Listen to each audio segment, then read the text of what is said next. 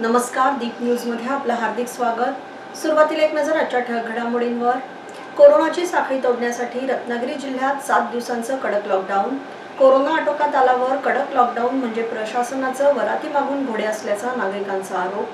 गुप्तचर संस्थेतील अधिकाऱ्यांना निवृत्तीनंतर लिखाणासाठी परवानगी बंधनकारक केंद्राचा नवा नियम. अखेर परदेशी लसींचा भारतात येण्याचा मार्ग मोकळा. डीसीजीआयकडून हिरवा कंदील. सीबीएसई बोर्डाच्या यंदाच्या बारावीच्या परीक्षा रद्द करण्याचा निर्णय आणि लोककलावंत कांताबाई सातारकरांपाठोपाठ कन्या अनिता आणि नातवाचंही कोरोनानं निधन. आता पाहूया सविस्तर वृत्त. कोरोनाची साखळी तोडण्यासाठी रत्नागिरी जिल्हा परिषदेने तीन ते सात जून दरम्यान कडक लॉकडाऊन करण्याचा निर्णय घेतलाय. मात्र कोरोना काळात वारंवार निर्णय बदलणाऱ्या प्रशासनाचा हा निर्णय म्हणजे वराती मागून घोडे असल्याची टीका सर्वसामान्य नागरिकातून होतीये. फेब्रुवारी महिन्यापासून जिल्ह्यात कोरोनाचे रुग्ण दिवसाकडे वाढत होते. अनेकांचा बळी जात होता. त्यावेळी प्रशासनाला कडक लॉकडाऊनची अंमलबजावणी करावीशी वाटली नाही. मात्र आता कोरोना बाधितांची संख्या घटू लागल्यावर प्रशासनाला कडक लॉकडाऊन करण्याची जाग येते. याला वराती मागून घोडे म्हणायचे तर काय? असा सवाल सर्वसामान्य नागरिक करतायत. कोरोनाची साखळी तोडण्यासाठी प्रशासनानं घेतलेल्या कडक लॉकडाऊनच्या निर्णयाला जनतेचा किंवा व्यापाऱ्यांचा विरोध नाही. पण कडक लॉकडाऊन करताना तो जेव्हा गरज होती तेव्हा करणं गरजेचं होतं. एप्रिल मे महिन्यात जिल्ह्यात कोरोनानं अगदी कहर केला होता. मंडणगड हा एकमेव तालुका वगळता अन्य तालुक्यांमध्ये कोरोनाचा आलेख दिवसेंदिवस वाढतच चालला होता. तेव्हा कडक लॉकडाऊन ही खरी गरज होती. तेव्हा कडक लॉकडाऊनचा निर्णय घेतला असता तर कोरोनात बळी गेलेले काही जण नक्कीच वाचले असतील सद्यस्थितीत रत्नागिरी चिपळूण या दोन तालुक्यात कोरोनाबाधितांची संख्या दिवसेंदिवस वाढताना दिसते. मात्र अन्य सात तालुक्यांमध्ये कोरोनाबाधितांची संख्या दिवसेंदिवस घटत चालली आहे. त्यामुळे कडक लॉकडाऊन करण्याचा निर्णय घेताना ज्या तालुक्यांमध्ये कोरोनाबाधितांची संख्या घटते तालुक्यांमध्ये कडक लॉकडाऊनची गरज आहे हा व्यावसायिक आणि नागरिकांचा प्रश्न आहे. रत्नागिरीचं प्रवेशद्वार असलेल्या कशेडी घाटात आता पोलिसांचा कडक पहारा ठेवण्यात आलाय. आहे जिल्ह्यातील एकही वाहन ई पास असल्याशिवाय रत्नागिरी जिल्ह्याच्या हद्दीत सोडायचं नाही असे सक्त आदेश पोलिसांना आहेत. पण हेच आदेश शिमगोत्सवादरम्यान दिले गेले असते तर शिमगोत्सवासाठी कोकणात येणाऱ्या चाकरमान्यांना ई पास तसेच कोरोना चाचणी बंधनकारक करण्यात आली असती तर जिल्ह्यात कोरोना एवढ्या प्रमाणात वाढला नसता.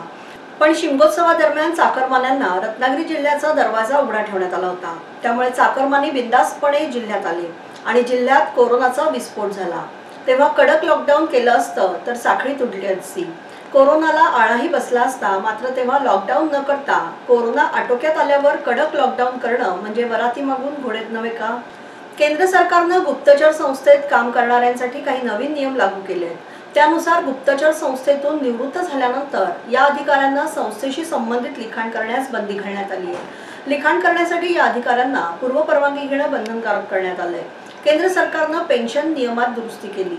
केंद्रीय सिव्हिल सेवा दुरुस्ती नियम दोन हजार वीसला सोमवारी अधिसूचित करण्यात आलंय. त्यानुसार एखाद्या पेन्शन पात्र व्यक्तीनं संरक्षण आणि गुप्तचर संस्थेची संबंधित माहिती किंवा लिखाण शेअर केल्यास त्याची पेन्शन रोखण्यात येईल किंवा त्याची पेन्शन कापली जाईल. त्यामुळे निवृत्तीनंतर अनेक अधिकारी संस्थेच्या अनुभवावर पुस्तक लिहितात. काही अधिकारी वृत्तपत्र आणि मासिकांमध्ये स्तंभलेखन करतात किंवा लेख लिहितात. अशांना चाप लावण्यासाठी ही दुरुस्ती करण्यात आली आहे. केंद्रीय सिव्हिल सेवा दुरुस्ती नियम एकोणीसशे बहात्तरमध्ये दुरुस्ती करण्यात आली आहे. त्यात एक क्लॉज जोडण्यात आलाय. त्यानुसार दुसऱ्या अनुसूचित अधिसूचित करण्यात आलेल्या संस्थेतील अधिकाऱ्यांना निवृत्तीनंतर त्या संस्था प्रमुखांच्या परवानगीशिवाय त्या संस्थेशी संबंधित डोमेशन कोणतेही माहिती प्रकाशित करता येणार नाही.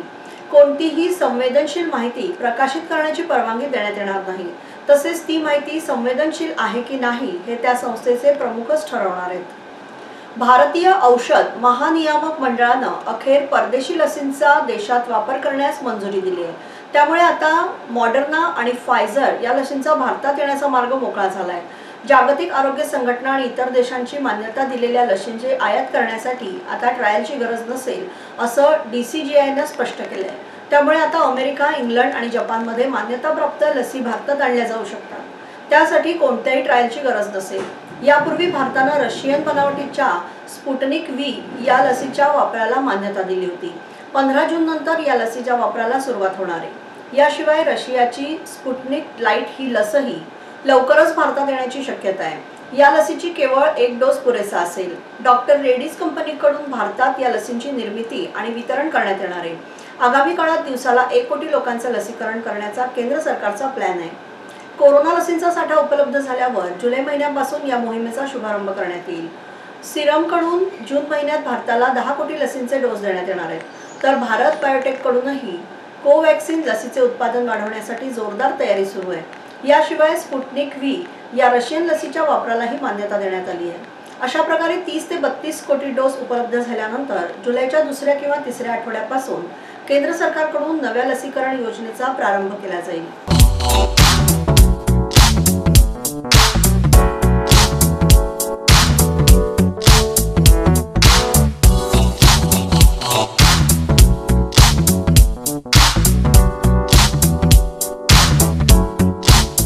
Hello everyone I am Parth Wadke helping students reach their potential हेच आज साध्य करता रोटरी इंग्लिश मिडियम स्कूलच्या माध्यमातून. मी national institute of technology Patna येथे शिकत आहे. मला आर्किटेक्चरमध्ये खूप आधीपासूनच खूप इंटरेस्ट होता. पण तसं बघायचं गेलं तर मुंबई पुण्यात याच्यासाठी खूप ऑप्शनसुद्धा अवेलेबल होते. पण मला हा एक बेनिफिट होता की जिथे मी खूप आधीपासून शिकत आहे तिथेच मला जे बी आरसाठी खूप उत्तम प्रकारे मार्गदर्शन मिळणार होतं. सो मी ते ऑप्ट केलं आणि मला खूप चांगल्या प्रकारे रिझल्टसुद्धा मिळाला. तसंच या दोन वर्षात येथील फॅकल्टीने मला खूप हेल्प केली माझे डाऊट सॉल्व्ह केले आणि माझा परफॉर्मन्ससुद्धा खूप इम्प्रूव्ह केला. आणि त्याच्याचमुळे मी आज आर्किटेक्चरच्या टॉप टेन कॉलेजमधून एक कॉलेज निवडण्याची मला संधी दिली. असाध्य ते साध्य हेच रोटीचं ध्येय.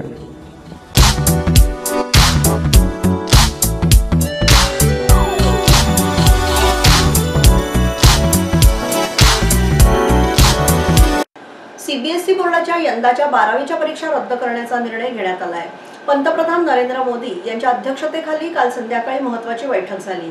त्यावेळी हा निर्णय घेण्यात आला. कोरोनाच्या पार्श्वभूमीवर देशभरातील बारावीच्या परीक्षा पुढे ढकलण्याचा निर्णय केंद्रीय शिक्षण मंत्रालय आणि विविध राज्यातील शिक्षण मंडळींनी घेतला होता. पण कोरोनाची दुसरी लाट आणि वाढती रुग्णसंख्या पाहता बारावीच्या परीक्षांवर कोरोनाचं सावट आहे. त्यामुळे सीबीएसईची बारावीची परीक्षा आता रद्द करण्यात आली आहे. मराठी तमाशा विश्वातील वगसम्राज्ञी अशी ओळख असलेल्या कांताबाई सातारकर यांचं काही दिवसांपूर्वी संगमनेर येथे कोरोनानं निधन झालं. आता त्यांच्या पाठोपाठ त्यांच्या थोरल्या कन्या अनिता आणि नातू अभिजित यांचंही कोरोनानं निधन झालंय. अवघ्या आठ दिवसात एकाच कुटुंबातील तीन जणांचा कोरोनानं मृत्यू झालाय. ज्येष्ठ तमाशा कलावंत कांताबाई सातारकर या तमाशा कलावंत रघुवीर खेडकर यांच्या मातोश्री होत्या. काही दिवसांपूर्वी खेडकर कुटुंबियांना कोरोनाची लागण झाली होती. कुटुंबातील जवळपास आठ सदस्यांना कोरोनाची लागण झाली होती. अशातच कुटुंबातील अनेक जण कोरोनामुक्त होऊन घरी परतले होते. परंतु अवघ्या आठ दिवसात खेडकर कुटुंबियांनी तीन जणांना गमावलंय. मुंबई मराठी पत्रकार संघाचे माजी अध्यक्ष विश्वस्त ज्येष्ठ संपादक तथा ज्येष्ठ पत्रकार राधाकृष्णन नार्वेकर यांचं निधन झालं. मुंबईतील सेव्हन हिल्स हॉस्पिटलमध्ये कोरोनावर उपचार घेऊन कोरोनामुक्त होऊन ते घरी परतले होते. त्यानंतर अचानक त्यांची तब्येत बिघडल्यानं त्यांना मुंबईतील कुपर रुग्णालयात दाखल करण्यात आलं. राधाकृष्ण नार्वेकर ज्येष्ठ पत्रकार तसेच मुंबई सकाळचे माजी संपादक होते. कोरोनाच्या पार्श्वभूमीवर जनजागृती करण्यासाठी रत्नागिरी शहरात अचानक पोलिसांचा ताफा रस्त्यावर उतरला. ताफ्याचं नेतृत्व पोलीस अधीक्षक डॉक्टर मोहित कुमार गर्ग हे चक्क सायकलवरून करत होते. त्यांच्या पाठोपाठ दुचाकी इतर वाहनं होती. पोलिसांचं हे शक्ती प्रदर्शन असलं तरी कोरोना विषयक जनजागृती संचारबंदीचा गैरफायदा घेणाऱ्या आणि नियमांचं उल्लंघन करणाऱ्यांना कायद्याचा धाक राहावा यासाठीचं हे संचलन होतं. शहरातील प्रमुख भागातून हे संचलन झालं. पोलिसांनी यावेळी कोरोना संसर्ग रोखण्यासाठी अपेक्षित असलेल्या नियमांचं पालन करा असं आवाहन केलं. नियमांचं उल्लंघन करणाऱ्यांवर कारवाई करण्याचा इशाराही देण्यात आलाय. नमस्कार. मी S P Ratnagiri doctor Mohit Kumar Garg. आम्हाला माहीत आहे की आज डिझास्टर मॅनेजमेंट अथॉरिटीकडून काही कडक आदेश कोरोनाबद्दल काढलेले गेले आहे. त्यामध्ये आम्ही काही डिसिजन्स घेतलेले आहे. त्याच्यामध्ये एक एक डिसिजन आहे ते आहे जिल्हाबंदीचं तर मी सगळ्यांना आवाहन करून इच्छितो की की जे काही लोकी बाहेरून फॉर एक्झाम्पल मुंबईकडून पुणेकडून किंवा इतर डिस्ट्रिक्टकडून रत्नागिरीला प्रवास करत आहे तर दोन जून रात्री बारा वाज वाजलेपासून नाईन जून दोन दोन हजार एकवीस रात्री बारा वाजलेपर्यंत तुम्ही जे काही नियमप्रमाणे तुम्ही प्रवास करताय तरी तुम्ही प्रवास करा. अदरवाईज अनावश्यक जे तुमचा प्रवास आहे ते टाळावा. आणि जे कोरोनाविरुद्ध शासनाची लढाई आहे त्याच्यामध्ये सहकार्य करा. जय महाराष्ट्र. जय हिंद.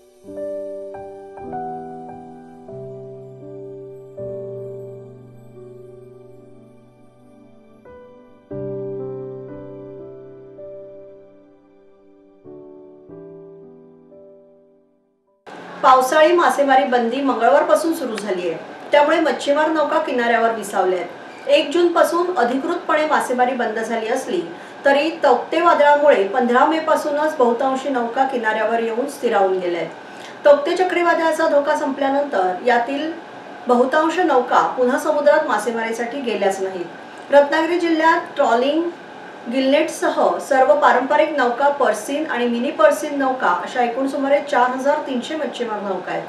महामार्ग चौपदरीकरणात चिपळूण परशुराम ते आरवली दरम्यान चौदा हजार चारशे झाडांची कत्तल करण्यात आली होती. त्या जागी आता वीस हजार झाडांची लागवड करण्यात येणार असून त्याचा प्रारूप आराखडा मंगळवारी झालेल्या बैठकीत तयार करण्यात आला. चिपळूण वनविभाग आणि दापोलीतील कोकण कृषी विद्यापीठाच्या माध्यमातून ही लागवड रोपे उपलब्ध होणार आहेत. कोविडच्या तिसऱ्या लाटेमध्ये लहान मुलांना सर्वाधिक बाधा होणार आहे अशा भाकिताची भीती पॅनिक समाजामध्ये पसरलेली दिसते.